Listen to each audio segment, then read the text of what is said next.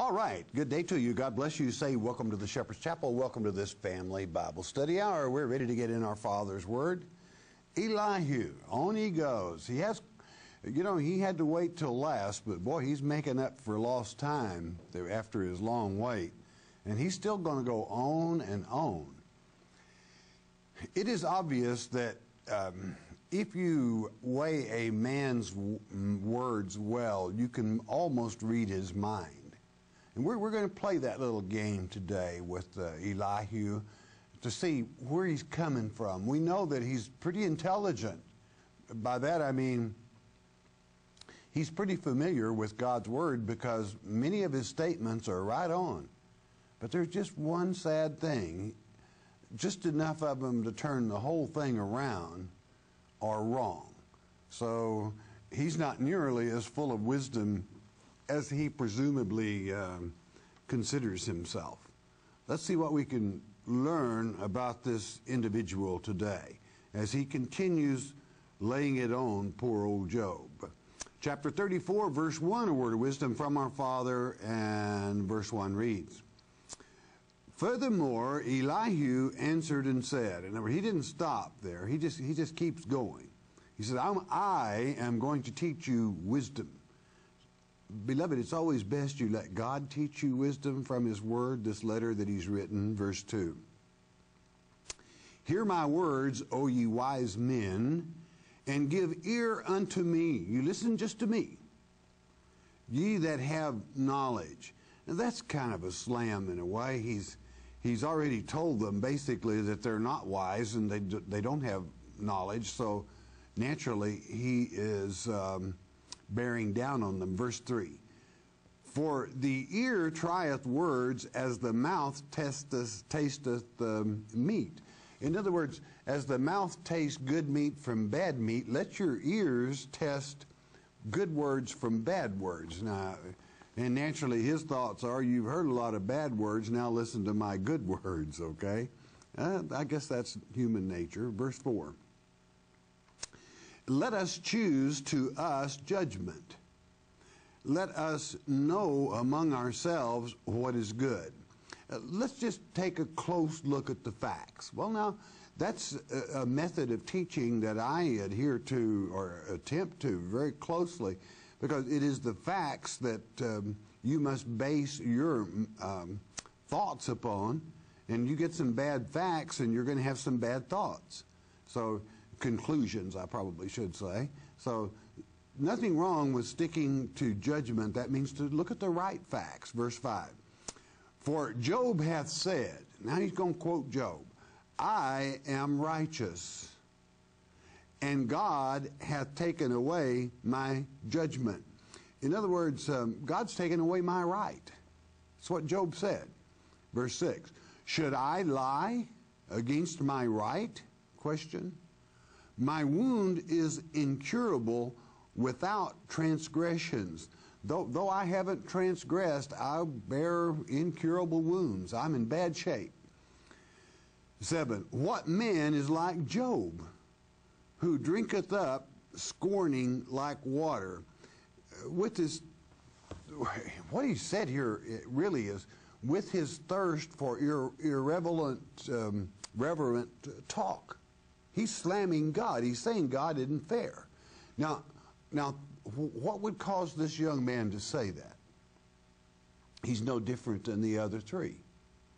He's got to think that Job is a sinner and terrible that he brought this upon himself, or he wouldn't have made that statement, period.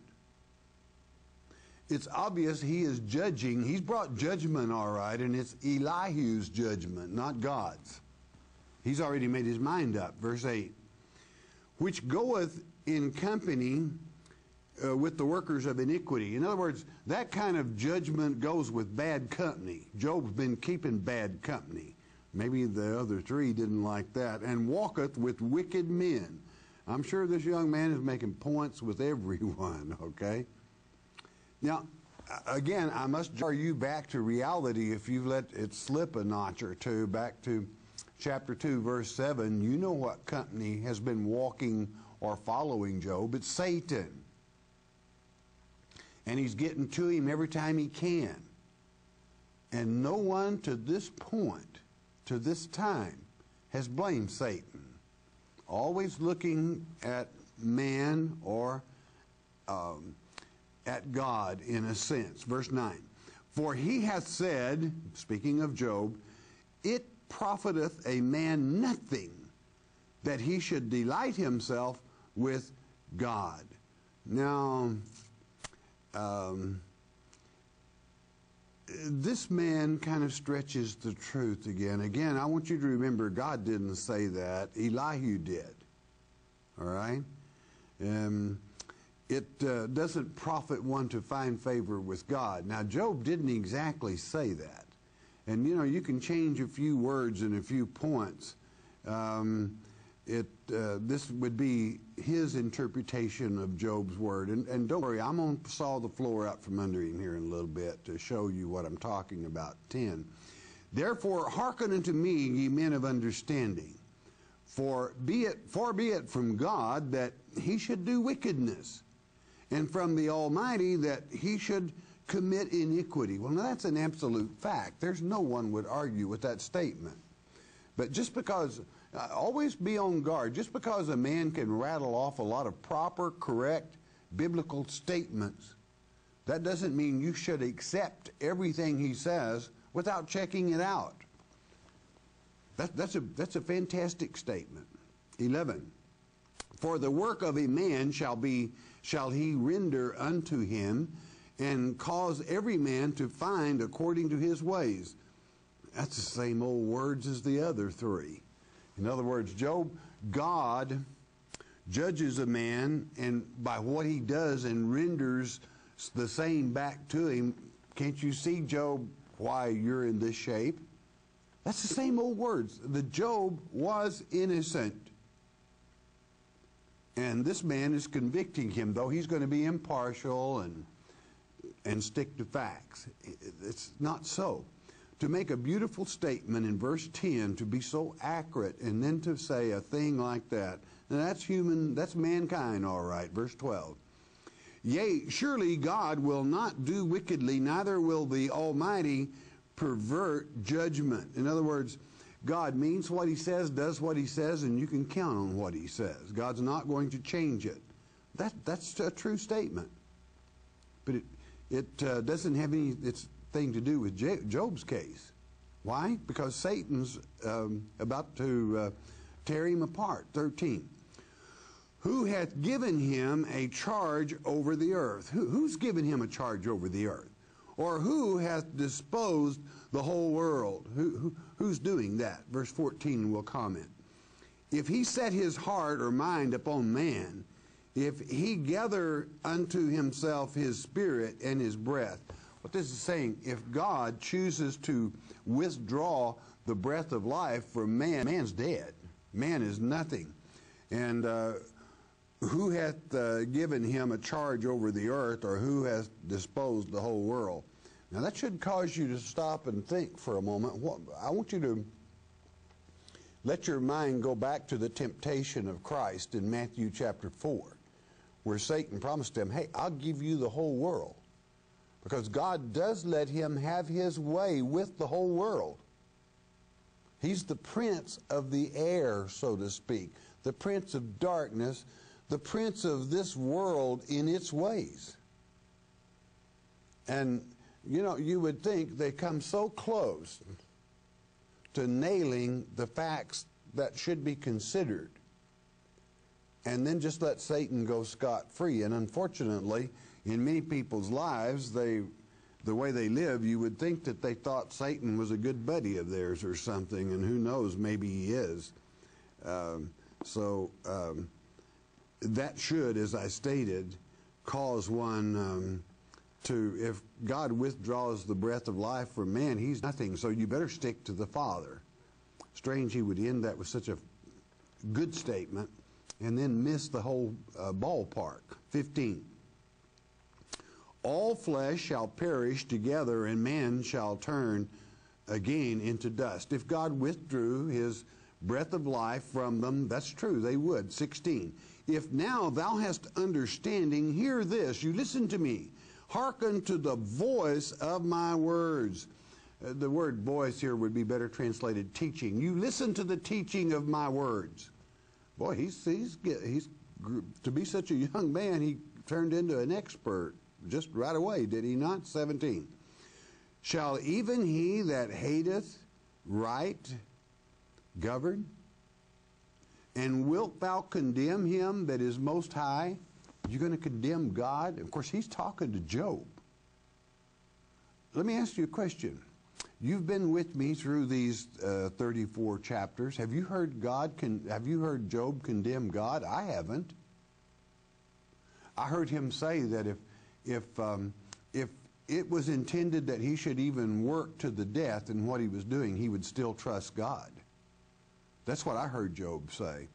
You see, there have been many words, words, words, and sooner or later you can forget, well, who was Job discussing at that time? You've got to rightly divide the word. I'm giving you that as a warning because we're going to trip up Elihu before this lecture is over. And that has a lot to do with it. Rightly dividing the word. 18. Is it fit to say to a king, Thou art wicked? Also to princes, ye are ungodly. Would, would you walk up to a king that had the powers to behead you and call him you, surely you are a worthless man? I don't think you would. I mean, that just wouldn't be too bright, would it? Uh, where's Elihu going with this? You should know, 19. How much less to him that accepteth not the persons of princes, nor regardeth the the rich more than the poor. Question For they all are the work of his hands. Um, therefore, God doesn't really show any difference between rich and poor in his mind. But at the same time, we see here um, um, Job was pretty well respected in the community, and it seemed that this young lad might have a carryover from that, a little jealousy or something. Something would put those thoughts in his mind, or maybe it was just listening to the friends, the three.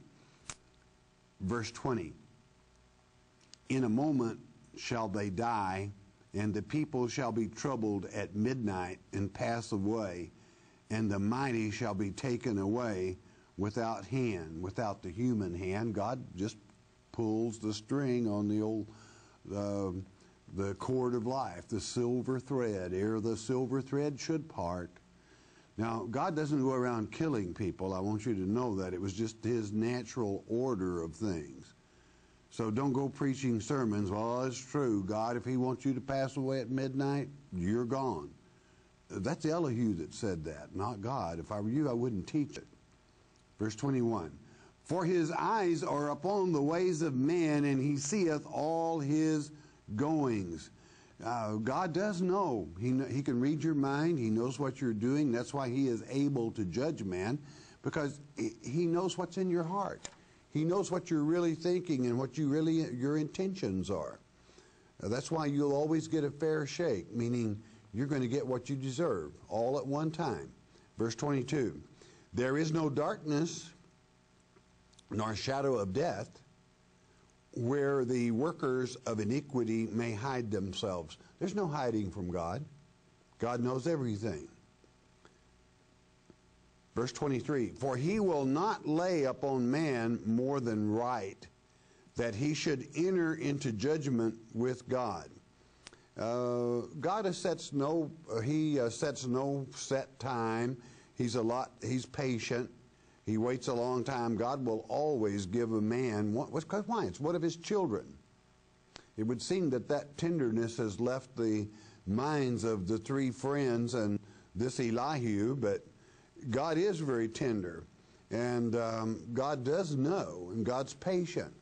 As a matter of fact, we know that from the second uh, book of Peter, chapter 3, verses 7 and 8, where it says God is patient. And long suffering is the word translated in the English, long suffering, but that means patience. That all will come to repentance. Will they? No, of course not. 24. Excuse me. He shall break in pieces mighty men without number, and set others in their stead. He sets them up, he takes them down. God is in control, where, whereby it would have to do with his plan. Verse 25. Therefore he knoweth their works, and he overturneth them in the night, so that they are destroyed. They're crushed. You know, I think he chooses a bad um, choice of words because Satan works at night, God works in the daytime. God works all the time, but usually uh, uh, the prince of darkness is Satan, and destroyer is one of his names. 26. He striketh them as wicked men in the open sight of others. For their crimes, he always strikes them, he always brings them down. Now, again, I want you to remember who's talking and who he's, he's still talking to Job. He said, Job, your crimes will always bring you down to the place right where you are now. So, you see, there's no different, again, I would repeat, than he from this one than the three others. Without documenting, as Job requested, show me one crime Tell me when, where, and, and how I accomplished it. Show me the sin. Document it. They haven't done it, but they're all ready to accuse him. Uh, this is, you have to hand it to this lad. He's doing it kind of coming through the back fence gate, but that's what he's doing. And the reason God is allowing this in this way, He wants you to be sharp in discerning men that profess to teach the sayings of God. Elihu sure does. Verse 27. Because they turned back from him and would not consider any of his ways. They just wouldn't listen to God. That, that's, a, that's a good statement. It's true. Many people won't, and that's why they get in trouble. 28. So that they caused the cry of the poor to come unto him, and he heareth the cry of the afflicted. God, God hears that cry. Well, now here he's kind of insinuated, Job, you've sure heard a lot of people. Why would he be saying that to Job? Yeah, it's a true statement. But it's the wrong set of facts for Job. 29. When he giveth quietness, who then can make trouble? And when he hideth his face, who then can behold him? Who can see him? Whether it be done against a nation or against a man only. And God does control nations as well as man. There is no nation in power except God has ordained it to bring about the fulfillment of his plan, basically overall. It may be for a negative purpose, it may be for a positive purpose. And God doesn't bother explaining why he does things. You've got to be pretty sharp and you've got to uh, have wisdom from God to understand why he does the nations and man as he does. Otherwise, you're going to be very confused. Verse 30. And, and, that's a true statement. There's nothing wrong with that statement. Verse 30. That the hypocrite reign not, lest uh, or nor the people be ensnared. God kind of takes care of the people. He doesn't let them get trapped. Well, eh. 31. Surely it is meet to be said unto God, I have borne chastisement. I will not offend any more. Now that that is he he lets the whole fox right out of the bag there, or turns the fox loose in the chicken house. In other words, with all this having been said, Job, surely you should say, I have borne chastisement. God has punished me. I got sores all over me. I, I, I know, God. I hear you. I will not offend anymore, God. I mean, he, again, he's talking to Job. You know that God was so proud of Job that he, he told Satan, he said, you can't, you can't have him. That's my servant. That's my boy. That's not what God wants from Job. God's wanting Job to stay tough, hang tough, son, hang tough. And then you get a, you get, uh, an idiot like this comes along. In other words, you can read his mind because you know what he thinks of Job. He thinks Job is a sinner in, in a max to the max degree, 32.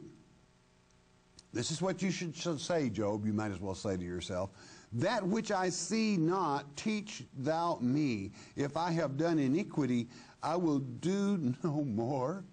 Now, he's using psychology here. He didn't just come out and say, You have committed iniquity, Job. If I have, you would be smart to say, all right? And that which I see not, teach thou me. And he might as well say, and please teach me through this young man sitting right here, Elihu. All right, got it? Hold still, Job, as he stated in verse 33 of the last chapter. I shall teach thee wisdom. He's laying it on, isn't he? I hope you can see God wants you to know you cannot trust men with big words uh, of swelling wisdom that they claim to have. Stick to God's word. Verse 33 Should it be according to thy mind? Job, you think it should be the way you think? He will recompense it whether thou refuse or whether thou choose, and not I, therefore speak what thou knowest. You choose this way or that, Job, God's going to get you either way, right coming out the gate, you sinner, you. All right, he's laying it on him. 34. Let men of understanding tell me, and let a wise man hearken unto me. In other words, let men of understanding load my pistol, and Job, you listen to me. Um, he was surrounded by wise nuts, all right. The three friends in this character, 35. Job has spoken without knowledge. Uh oh, that's cuts. And his words were without wisdom. What a slam in the face. 36. My desire is that Job may be tried unto the end because of his answers for wicked men.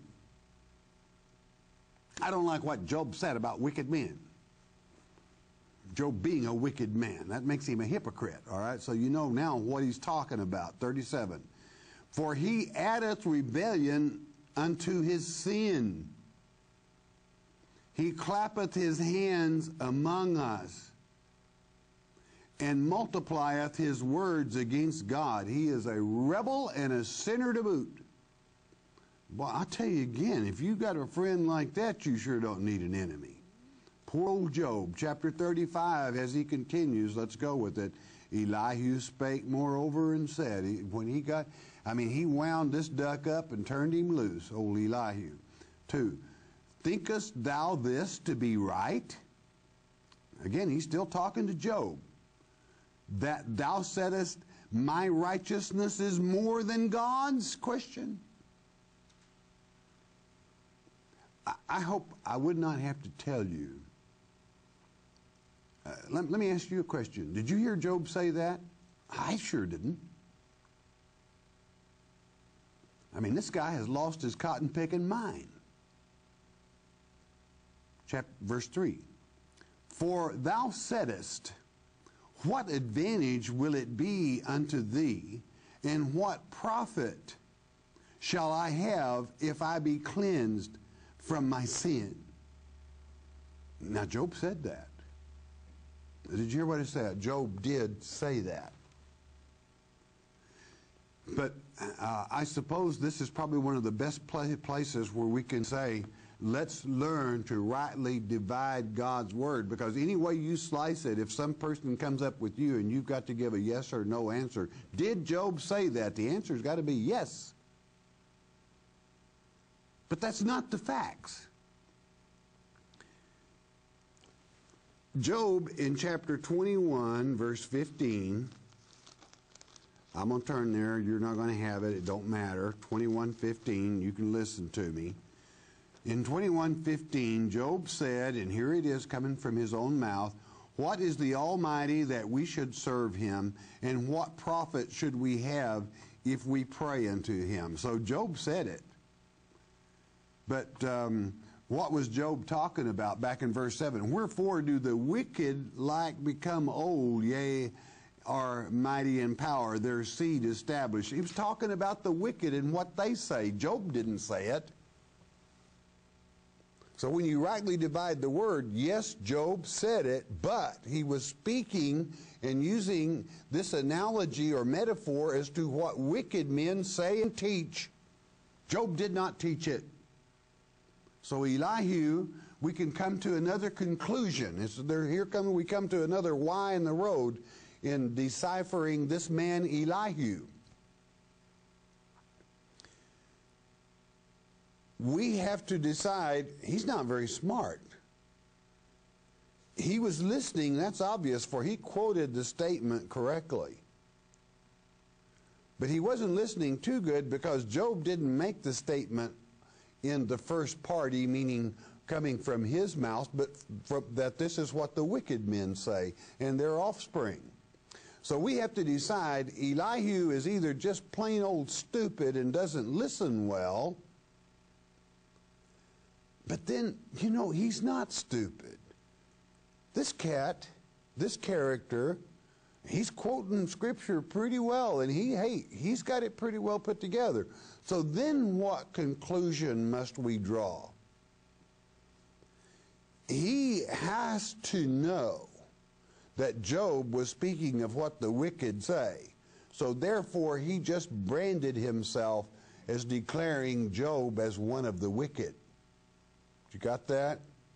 Now, you can make your mind up other, either way. You can say the man is stupid, but you'd be pressed pretty hard because he's sharp. He's certainly intelligent. But it's very obvious in my mind, and I will choose that way, that he has already branded Job as wicked. Now, if someone's already branded you and they're trying to counsel you and find out what's wrong, you're fighting a losing battle, friend. I suppose the thing I want you to see is why God put so much into this book of Job, teaching you how that you must, I mean, really must rightly divide the Word of God.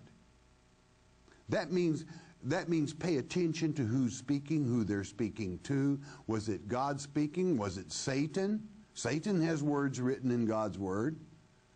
Does that mean because Satan's words are in the Bible, does that mean we should teach Satan? I think not. God gives his little creatures, his little children, um, enough leeway to say, I put a brain up in your head. Can you use it? There are exceptions to every rule, but to common man, you can attain wisdom from God if you think and you must learn to think for yourself. You cannot listen to Elihu. You cannot listen uh, even to Job as far as that's concerned without checking him out. I think we just put the I think we just put the uh, big anchor on Elihu and we can just go ahead and throw him overboard and sink him because we know now he's no good. He's worthless. Got a good mind, quotes a lot of good scripture, but as far as holding the truth, he's a flop. He's a bigger flop than the other three were. I mean, he uses his intelligence to entrap Job by twisting sayings. That's of Satan. So now, inasmuch as um, Elihu means God is his, you might wonder, well, which God is he serving? Got it? Okay, let's go on. Verse 4. I will answer thee and thy companions with thee. He's getting pretty bold now. He, he's beginning to strut a little bit even. I want to talk to you, and I'm also going to include these three knuckleheads you got with you over here. Job 5. Look unto the heavens and see. You consider. Look up at them. And behold the clouds which are higher than thou. Okay, got that. That means there's something higher than we are, all right? Six. If thou sinnest, what dost thou against him? And if thy transgressions are multiplied, what dost thou unto him? Question. What does that do to God? Seven. If thou be righteous, what givest thou him? Question.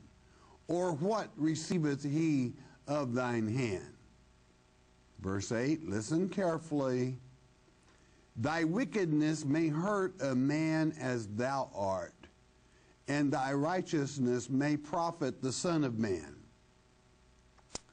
You may hurt or you may help uh, uh, only man, is kind of what he's saying here. We're going to get to prove him a liar again, aren't we? And you know why, don't you?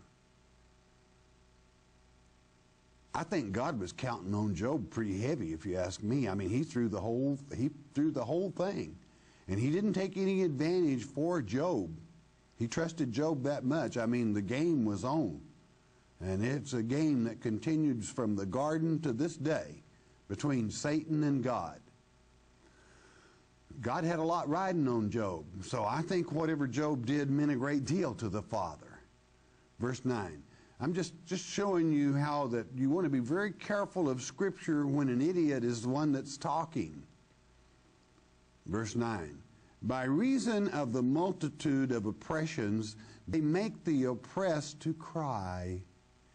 They cry out by reason of the arm of the mighty. 10. But none saith, Where is God my Maker? Who giveth songs in the night. That makes it so sweet. Verse 11. Who teacheth us more than the beast of the earth and maketh us wiser than the fowls of the air? He's getting poetic now. 12. There they cry, but uh, none giveth answer because of the pride of evil men. Poor baby. Verse 13 Surely God will not hear vanity, neither will the Almighty regard it. Now that's a slam at Job. You see, what he's saying here is Job, do you know why God's not listening to you? Your vanity. That means you're nothing. You're empty. You're no good, Job. Again, man, I mean, if you've got friends like this helping you, I feel sorry for you. I mean, but that poem, I, you know, that that's a beautiful poem. It's not quite square, but we'll let it go at that. 14. Although thou sayest thou shalt not see him, yet judgment is before him. Therefore, trust thou in him. My, my, my, my. They sure let uh, this old boy put faith first. All right. Job has already done that. He said, out of this whole deal, if I die, I still will trust God. I'm not about to take away my faith in Him. So he's wasting his time with that statement. 15. But now, because it is not so, he hath visited in his anger, yet he knoweth it not in great extremity. His anger has not come and he has not recognized. Um, and God doesn't give credit or recognize stupidity. That's kind of a low blow at Job. I think he just called Job stupid. I'm afraid the shoe's on the other foot. 16 to complete. Therefore doth Job open his mouth in vain. There you got it. Nail it to the wall. It means empty. Job's full of empty words. He multiplies words without knowledge. Again, boy, if you got a friend like that. Here, Job is very wise. He was one of the chief elders of the city. And he was wise enough in God's word that God chose him of all men on earth at that time to stand his part. And then you got some knucklehead like Elihu that comes along after listening to debate, ratchet jaw, ratchet jaw, and he didn't learn a thing as wise as he is. Because he falls right in, only he's really worse than the three. He's very bold in his criticism. You know, when you tell a man, you, you know what, uh, when, when you tell somebody that in their head all they've got is, van, uh, is emptiness, do you realize what he called him? you know, they say somebody that's empty headed doesn't have a brain. That could I would consider that rather insulting. Rightly dividing the word. You know, there are people that will actually go along with what this character is saying and teach and believe that God really was correcting Job here and that Job had done all these things? Why? Repetition. It's just like gossip. If it's repeated often enough, you're going to have a, I would say the majority that are going to believe it. Boy, you can take a little old town and let a little bit of false word just get spread around, and pretty soon it's it, it make headlines. Gossip, gossip, gossip. Nobody ever checks facts. Nobody ever discerns. Because, well, how could the majority be wrong? Friend, that is so easy because the majority has been wrong since the beginning. It's only a minority that have the real truth and care to search for it. Job's a real good book.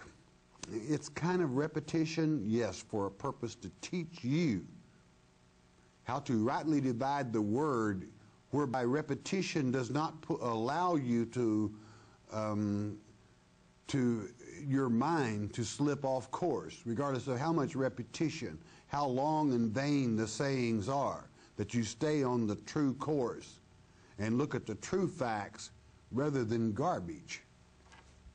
Garbage in, garbage out. A lot of people get garbage in and they keep it. See that you don't. You do that by rightly dividing the word of the living God.